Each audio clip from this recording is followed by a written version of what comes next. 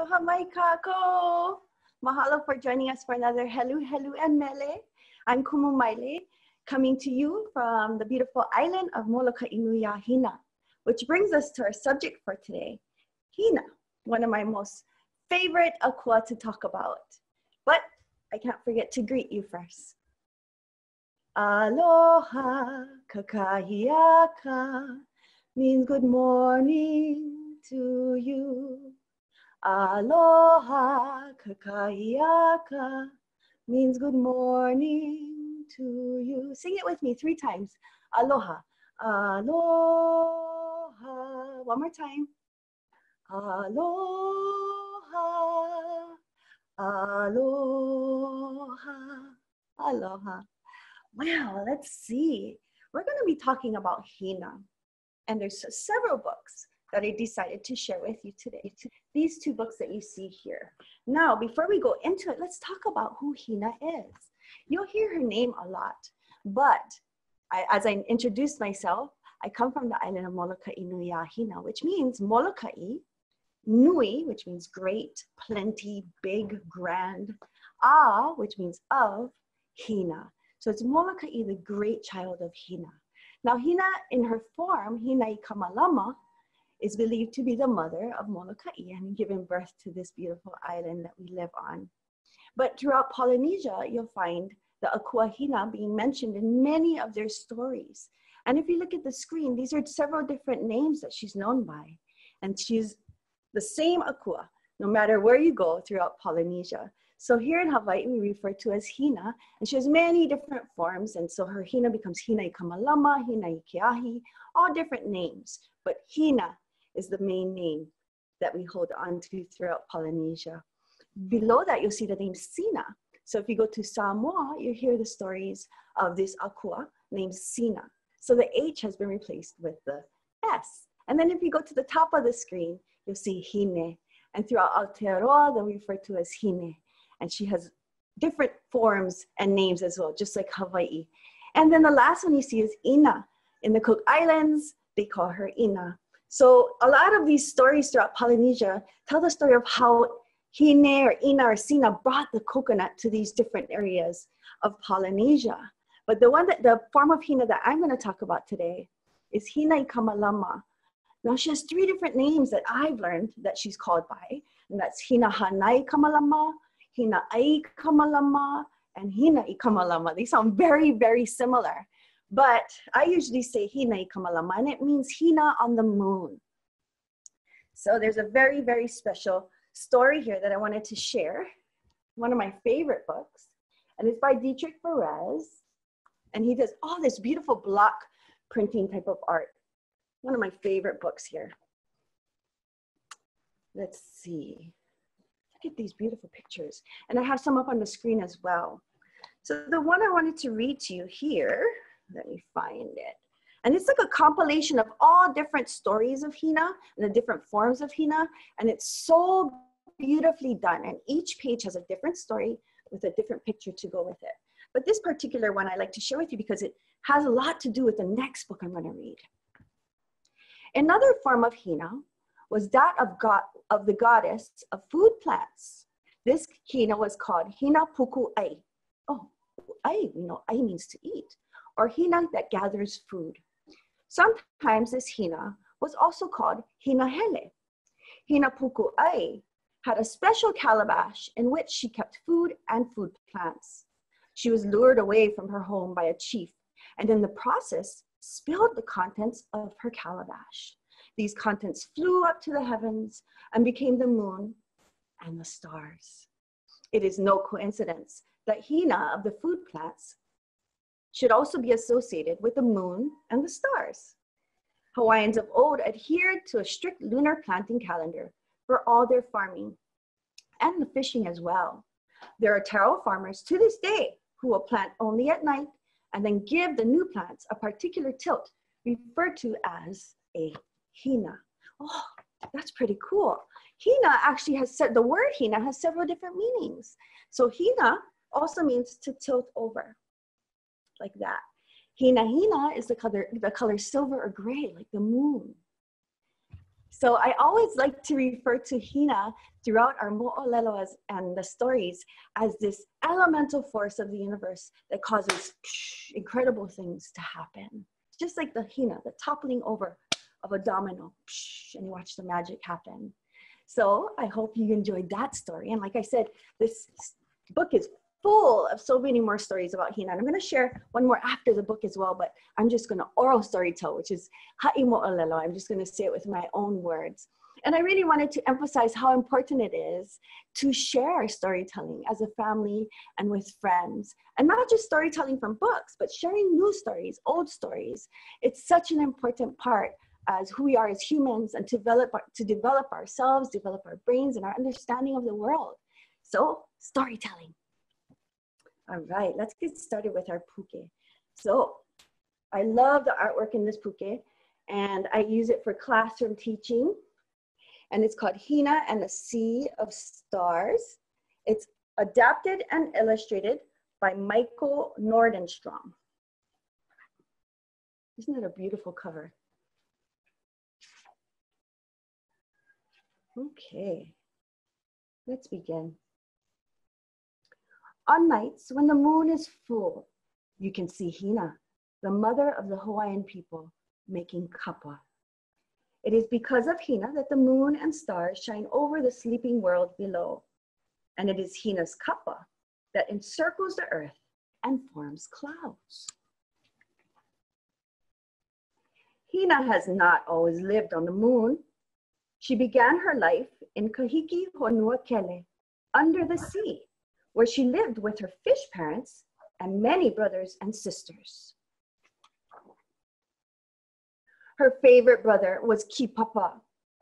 He promised their parents that he would protect Hina, but he was usually off swimming with his ocean friends. Ah, doesn't that look like fun? Look at that, all these beautiful ocean animals. This made his parents angry. And one day, they banished him to the deepest part of the sea would he ever see his sister again? Wanting to leave something behind for Hina, Kipapa quickly filled a calabash with starfish and a crescent moon. This gift would remind Hina of his love.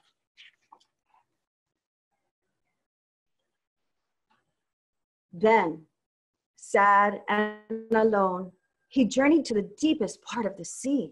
His grandfather could not bear to see him in such misery, so he stirred up a mighty tempest. Dark waves surged, and with a mighty thunder, the sea floor cracked. Kipapa crawled through the opening until he reached the Hawaiian Islands. Kipapa was befriended by Chief Konikonia, who taught him the ways of the islanders. Konikonia also asked Kipapa to return to the sea and bring Hina back to live with them.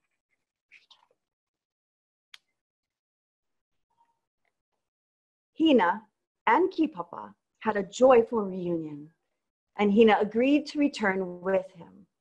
She took the calabash with her to remind her of the sea. However, when Hina left the sea, the stars and moon floated up into the evening sky. The stars drifted away until there were only faint points of light.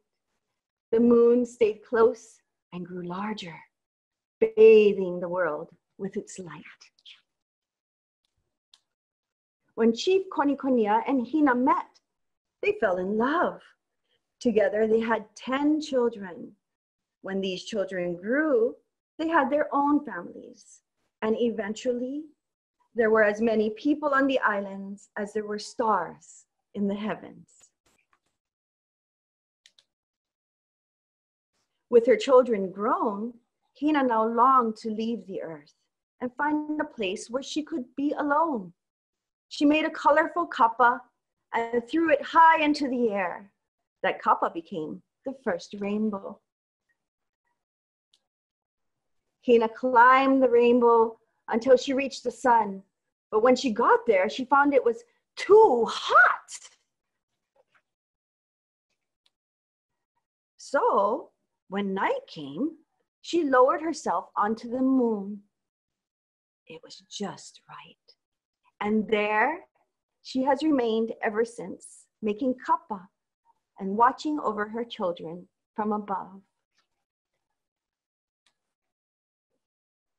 Now, at night, the whales in Waimea Bay wave at their friend in the moon and know that it will be another good night. Pipi Holo Ka'ao. There you go, Hina and the Sea of Stars by Michael Nordenstrom. What a beautiful book, isn't it? And this is just one version of the story. Um, I've learned and read many different stories uh, or versions that give her a different name, different forms of Hina. Um, in the book, it said Hina Puku'ai. And then this particular story that talks about Kipapa is Hina Hanai Kamalama. So there's different names, but surely Hina is a great akua that tells us who we are and our ability to do amazing things. So now we're gonna go into the fun part and share some mele. But before we share some mele, I wanted to share a, a story about, or ha'imo'olelo, which means oral storytelling, about a particular story of Hina here in Molokai. I did mention that Hina is the mother of Molokai, and she has her ways of protecting her beautiful island child. And one of those ways is the story of Hina's Ipu. And the name of this Ipu, a lot of times when you learn these different stories, these um, Ipu have names. Like the, the Ipu that held the sea, the Sea of Stars, it's not mentioned in the book, but in the Mo'olelo, the name of the Ipu is uh, what is it called? It's uh, Kipapa Laulau. Kipapa Laulau. That's the name of the Ipu in this story. I'm trying to remember all the different names of the Ipu. Now, the Ipu that Hina uses to protect her island child is called Wa Wa Honua Aho. Try and repeat that after me. It's kind of hard to say, but I'll say it slow and then you repeat. Wa Wa Honua Aho. Wa Wa Honua Aho. All right, very good. So Wawa Honua Aho was her ipu that would hold three different winds. And these winds were said to have protect her island child whenever, whenever it was being threatened by outsiders or even those who dwelled on the island itself. If they threatened the ways and the peace of this island, then she would unleash these winds. So this is an ipu. This is an ipu. This is actually an ipu that my um, my tutu, my grandmother left for me. She was a hula dancer, and so am I. So this is very old. And this is my tutu's ipu. So this is a, a, gourd. It's like a squash that grows on a vine. And then uh, we oki, we cut the top off of the vine and then we clean it out and we, we dry it. Or you can just clean it out after it dries. It's more easy. So it wasn't this kind of ipu. This is the kind that we use for water or for hula. But what they did was they cut the ipu and they used just the body part, right? And then they took another ipu and they cut it even smaller and used that as a lid and they put two different ipu parts together to create one like this. See that? So there's a bottom ipu and then the top cover.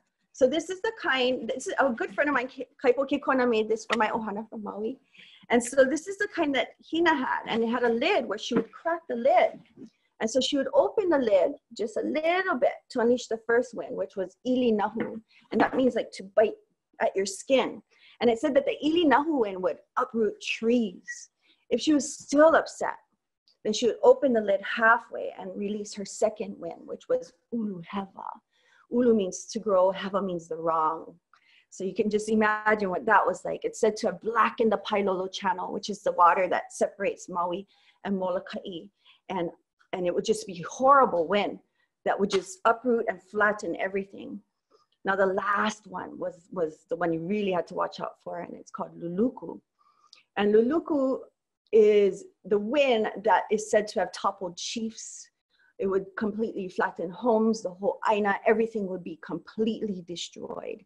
So that is how Hina would protect her island child, Molokai Nui a Hina.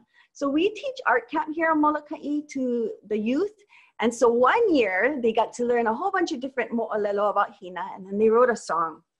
They wrote a song and they performed it for their parents at the end of the week. And I held it. I hold on to all of their work, and we created to, we created it together. So it was my husband, Hano Hano, it was me, and it was about 16 or 17 keiki, and we wrote this beautiful song. So I'm gonna invite Hano Hano to join us. Okay, I'll move over a little bit so there's room for him. Let's get cozy. And then we're gonna perform the song. So we're gonna put the How's words up on the screen. The words up on the screen Aloha. so you guys can join us. It's a super fun song. Aloha. Hello. Thank you for joining us. Aloha And we haven't done this word, this song for a long time. So we had to practice this morning and I hope you guys can sing along with us. It's really fun. It moves slow, but I'm just going to read the words to you and then we can do it all together. So it says, Hina is Molokai's mama. And we talk about the different forms of Hina in here as well. So it says, Hina is Molokai's mama.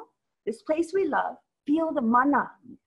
Malama, the planet, it's our kuleana to take care and love each other. She's the mother of Molokai. She puts the stars up in the sky. She makes rainbows on top of the moon that glows. Awesome and powerful. A guardian that's wonderful. Transform and shapeshift. She is real, not just a myth. Her first wind is Ili Nahu, a strong wind that blows right through you. Second wind is Ulu Hewa, makes the ocean big and changes the weather. Third wind is Luluku. She lets it go when she's all huhu, which means angry. She gave birth to the reefs, made fish ponds so we can eat. Yeah. And those are two stories I didn't talk about yet today, but we will on another Helu Helu about her helping to create the first fish ponds here in Hawaii and also giving birth to the reefs. Oh, she's such an incredible akua. So here's our mele. I hope you guys enjoy it and please sing along with us. We'll do it two times all the way through. Ready? Yep, makau Hina is Molokai's mama, the place we love. Feel the mana. Malama the planet, our kuleana. Love and take care of each other. She's the mother of Molokai. She put the stars in the sky. She makes rainbows on top of the moon that glows. Awesome and powerful. Guardian that's wonderful transform and shape shift. She is real, not just a myth. Her first wind is Ili Nahu, a strong one that blows right through you. Her second wind is Ulu Hewa, make the ocean bigger, change the weather. Her final wind is Luluku. She lets it go when she's all huhu. She gave birth to the reefs, made fish ponds so we can eat. Hey! She's the mother of Molokai. She put the stars in the sky. She makes rainbows on top of the moon that glows. Awesome and powerful. A guardian that's wonderful. Transform and shape shift. She is real, not just a myth. The first wind is Ili Nahu, strong one that blows right through you. The second wind, Ulu Hewa, make the ocean big and change the weather. The final wind, Luluku, she lets it go when she's all woo woo. She gave birth to the reefs, made fish pond so we can eat. Hey, Hina is Molokai's mama, the place we love. Feel the mana, malama the planet, our kuleana. We take care and love each other. Yeah, all right. Woohoo, that was cool. Hina, That was cool. Molokai's mama. Thank you. He the best mama. that was fun. We haven't done that for a long time. All right. So now we're going to talk about some of the artwork um, that reflects the style that was used in this book. So last week we shared a story that was done in collage style, and this is very, very similar. It's collaging. And so the examples that I gave to you was actually a, a lot like the last time, but it's where you create a different type of background and you're not just using pieces that are all different colors put together, but you're creating a background picture. So for instance, you could paint, paint the whole ocean and the sky background and then cut out these painted pieces and glue them on top of the painted background. So I have instructions and some examples here on the screen of students' work from the past. And so the first step says paint a full sheet of paper for the background. Use a brush, sponge, or your fingers. So the example on the screen of the black and white and gray background, that was done with fingers. We did finger painting. And then we did the next step. Paint several sheets of paper with acrylics or watercolors and make each paper in different shades of the same color. And so you have all the colors you need to work with in your picture. Third step, or ekolu, says make one painted paper for every color you need. All right, and then eha, cut out the shapes to make the different parts of your picture. Ooh, and then in the last step, glue them onto another paper to create a whole picture. So you can see these example here are their keiki work. They're amazing. They did such a great job. So anybody can do this and you can use whatever you have at home, any type of paper, watercolor, acrylics, glue and scissors and paper. That's all you need. And you can have lots of fun. So, and if you want to be inspired by this puke, you can always go back and watch the recording of this and look at the pictures and be inspired by the beautiful artwork that Michael Nordenstrom did. Yeah. Now, another famous artist that likes to use collaging that I absolutely love is Eric Carle. We're kind of familiar with Eric Carle, right? He did Brown, Brown Bear, Brown Bear, The Very Hungry Caterpillar, and all these great books. But it's collaging. He does it all by collaging, cutting out pieces and then gluing them onto a piece of paper like so. Very, very cool. So I hope you guys all are inspired by the stories of Hina today and the incredible things that she has done in our world and also to create beautiful art and music. So I'll see you next Helu Helu and Mele. And I also wanted to remind everybody to check out kahalehoaka.com if you're interested in enrolling in the Keiki program, which explores Oli, Mo'olelo, Olelo Hawaii, Hula, and all of those wonderful things that make uh, the Hawaiian culture what it is. So until next time, ahui ho, malama pono, ahui ho, malama pono. Sing it with me. Ahui ho, ene, ahui ho, ene, malama pono ene. Ahui ho, malama pono.